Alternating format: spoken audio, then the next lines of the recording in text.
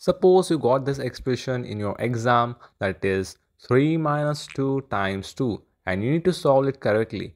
Now I know most of the people will probably solving this expression like this 3 minus 2 gives us 1 and now we are left with 1 times 2.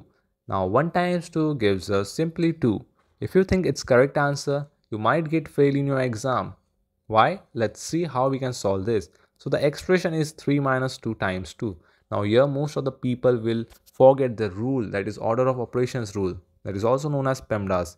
P for parenthesis, E for exponents, M for multiplication, D for division, A for addition and S for subtraction. Here in this expression we have multiplication and subtraction. So as multiplication priority is greater than subtraction, we need to solve the multiplication first. That is that minus 2 times 2. Instead of solving 3 minus 2, we'll first solve minus 2 times 2 which gives us minus 4. So we'll write down minus 4 and now we are left with 3. So we'll write this 3 as it is. So it becomes 3 minus 4 and the answer to 3 minus 4 is minus 1.